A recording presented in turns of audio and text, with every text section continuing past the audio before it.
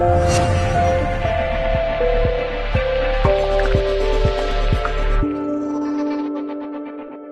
Hello, everyone. This is Selena with Selena Thinking Out Loud, bringing you another Storytime Sunday, Time with God. And I hope this message finds you well as we dive in to see what God has for us to learn today in our daily devotional, Jesus Calling by Sarah Young. If you have your copy, would you open with me to July 16th of 2017 and also bring along your Bible or your Bible app? And it reads, Self pity is a slimy, bottomless pit. Once you fall in, you tend to go deeper and deeper into the mire. As you slide down those slippery walls, you are well on your way to depression, and the darkness is profound. Your only hope is to look up and see the light of my presence shining down on you. Though the light looks dim from your perspective, deep in the pit, those rays of hope can reach you at any depth. While you focus on me and trust, you rise ever so slowly out of the abyss of despair. Finally, you can reach up and grasp my hand. I will pull you out into the light again. I will gently cleanse you, washing off the clinging mire. I will cover you with my righteousness and walk with you down the path of life. So, according to the dictionary definition, self pity is excessive, self absorbed unhappiness over one's own troubles, excessive unhappiness. When you feel this way, it can indeed feel like a slimy, bottomless pit.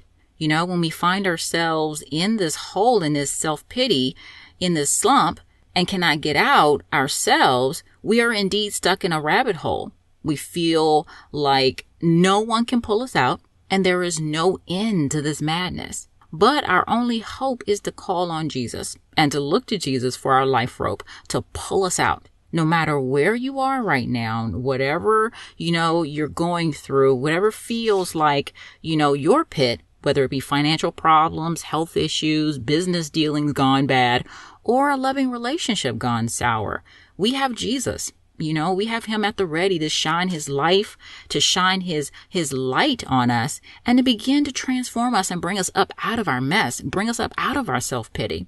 You know, it says here, while we focus on Jesus in trust, now if you trust somebody, that means you can lean on them and you can rely on them without having any second thoughts. And it says here, while we focus on Jesus in trust, we will rise ever so slowly out of the abyss of despair. And as you see, it says here slowly, because when we are in a deep self uh, pity state, you know, it takes time to get over that. You know, sometimes you, you can be in it for weeks or months or feels like years. But when we rely on God and we let Him pull us out, He's going to take us out of it slowly but surely, gradually, get us out of that and move us forward, brush us off and move us forward. And, you know, and that's just the reality of life. That's real talk. You know, we go through things and sometimes it could take us a while to really get over it.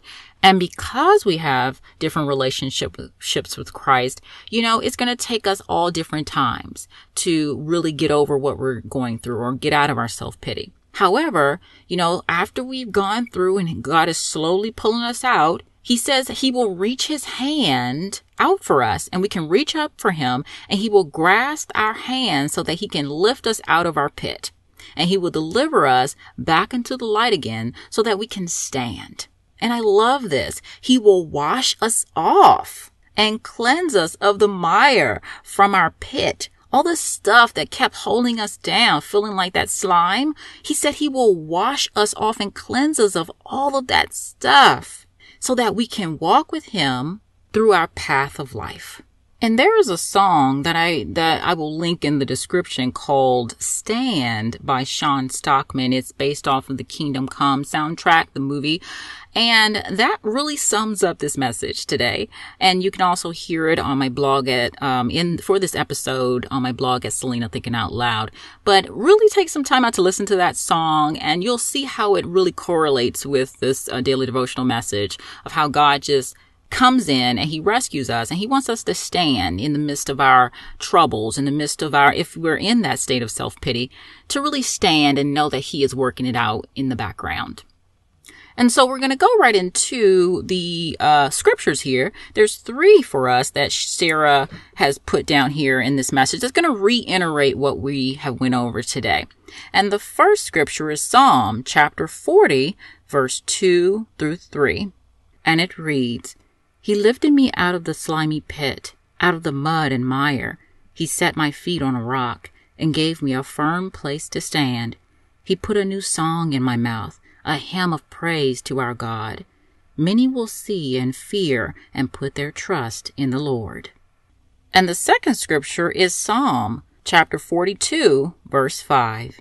And it reads, Why are you downcast, O my soul? Why so disturbed within me? Put your hope in God, for I will yet praise him, my Savior and my God. And the final scripture is Psalm chapter 147, verse 11. And it reads, The Lord delights in those who fear him, who put their hope in his unfailing love. So I want to thank you so much for joining me for another Storytime Sunday as we learn what it feels like to be in a slump. Also, in the comments below this video, go ahead and share with me one of your favorite songs you like to go to when you're feeling like you're in a slump. I would love to know what they, those are. And also, go ahead and subscribe to my YouTube channel for more product reviews, Storytime Sundays, and also giveaways. Alrighty, have a blessed week, guys. Bye bye.